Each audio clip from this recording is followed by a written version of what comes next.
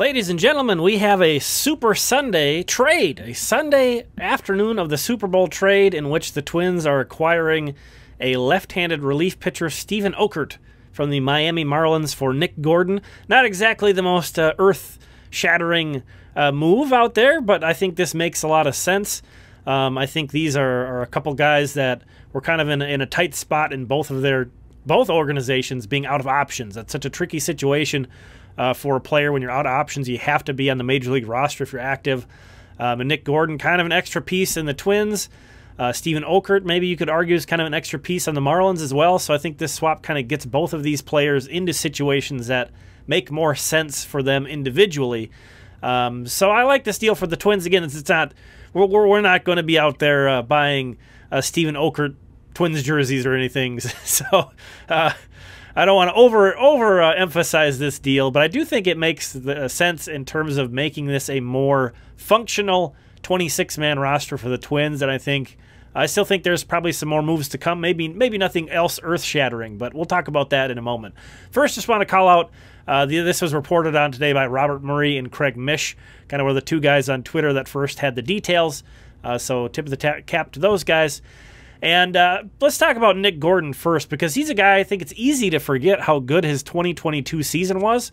Um, really came in and played well for the Twins in, in a moment of need for them. But, you know, taking a look at things as they are, he kind of got surpassed. Uh, he kind of got surpassed in his bench role by Willi Castro. Um, so that definitely factored into it. And then just in terms of fit, once again, um, not only could he not be sent down to the minors if that was, you'll see he's depth, but he's he's major league depth. You can't really send him down uh, without him going on waivers, which he probably wouldn't clear waivers because he's a guy who's had some success in the major leagues. Uh, then you have this. He's a left-handed hitter. I mean, that's kind of the, the worst thing going for Nick Gordon in this organization right now, where you know he's really mainly a corner outfielder. He can play other positions, but that's sort of where he's best. And it just so happens that like every corner outfielder the Twins have also hits left-handed. And as you see here, Nick Gordon, um, you know, he hasn't had a ton of opportunities to be fair, but he has not hit at all against left-handed pitching. So um, he is a platoon bench bat that probably is, you know, not going to be able to play a premium position like center field or shortstop for a extended period of time. You can put him there in an emergency, but you're not like rolling with Nick Gordon as your guy there for a month if, if your main guy goes down or whatever. Um, so he's kind of you know, he's kind of limited to, to put it that way. And I really like Nick Gordon. I know a lot of people were were saying, you know, he was probably going to get DFA'd or whatever. I certainly would have rather kept him, but I like I like this move, and I think it makes sense that they traded him. Um, again, the fit is just a tough fit. Uh, guy brings a load of energy, and I love love that about him. Love that he was pumping up the crowd during the wild card series and all that. So I appreciate Nick Gordon uh, for everything he's done here, but. Um, and hopefully this is a better move for him. You know, if he's going to, I don't know Miami's roster uh, quite as well, especially to this level of like their depth pieces and what they need in a bench guy.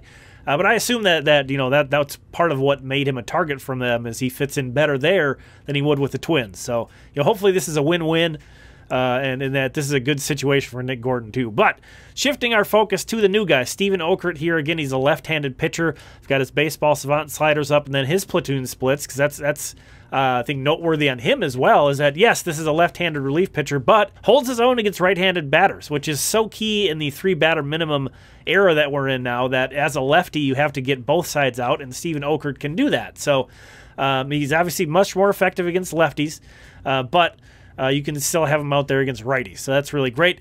Uh, we'll talk about the roster too, because I think he was also he's also a good fit on the roster as opposed to Gordon, who is kind of a poor fit. This guy's a good fit on the roster. Uh, but as you can see from his baseball savant sliders, um, there's some things that don't look real great. You know, he's an extreme fly ball pitcher. Um, you'd prefer ground balls, I, I, would say, and this he's in the bottom one percent in ground ball percentage from last year. Effective though, there, there's uh, there's no denying that. There there was a point in which.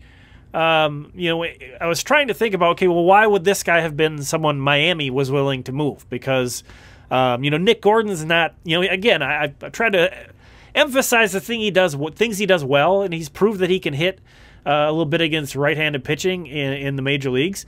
And uh, so it's not like he's completely without value or anything. But I'm trying, I was trying to think like, okay, well, why would the Marlins? Why why did Steven Okert make sense as the guy the Marlins would send off? One of the things there there's there's other things in addition to this, but one of the things that really stood out to me was, and that I'm a little little bit concerned about, uh, is how poorly he ended last season. Uh, his last 18 games, uh, you see here he had an 8.64 ERA.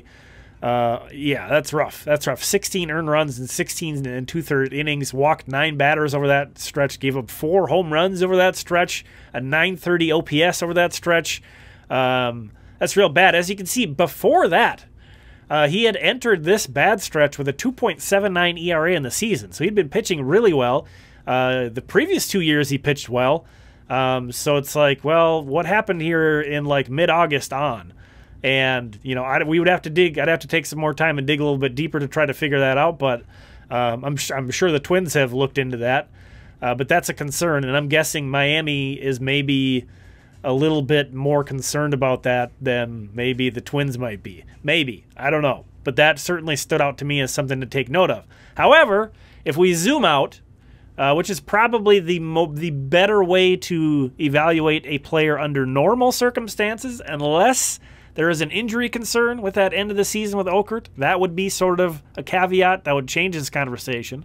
But other than that, I would say it's more effective to zoom out and take a look at a bigger sample and over the past three seasons, is what I have pulled up here, Okert actually compares pretty favorably uh, to Caleb Thielbar. Not as good as Thielbar, uh, but Caleb Thielbar, you're expecting to be your top lefty in the bullpen right now.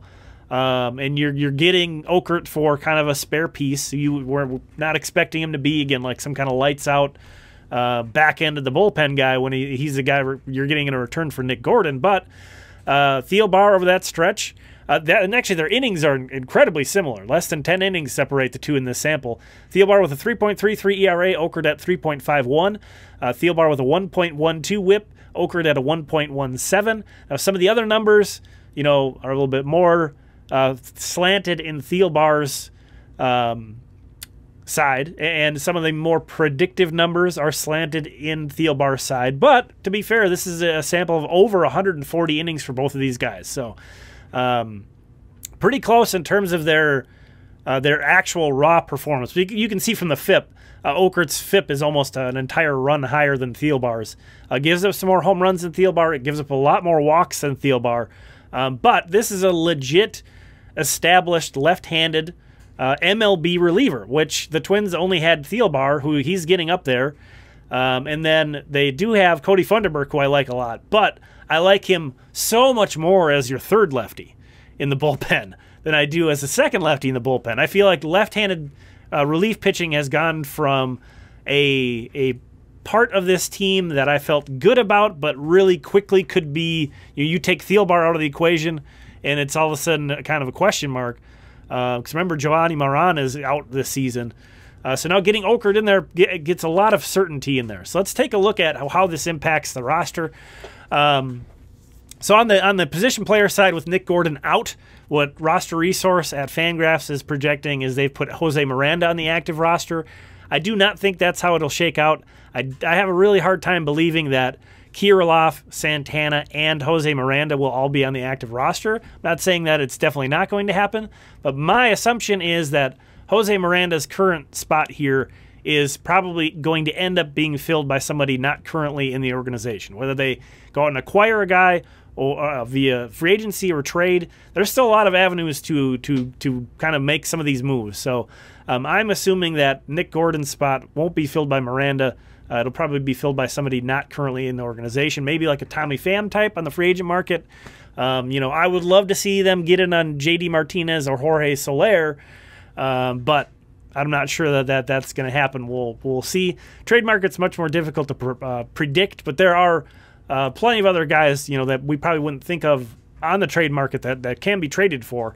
Uh, this this trade here is kind of a good example of that. So um, that's the position player side. Obviously, the pitching side is where the, the bigger kind of impact comes in with Okert sliding here. I wanted to put his profile up above me here to show that he is out of options. So this is not a guy. This also is not a guy you can send down. You know, much like Nick Gordon.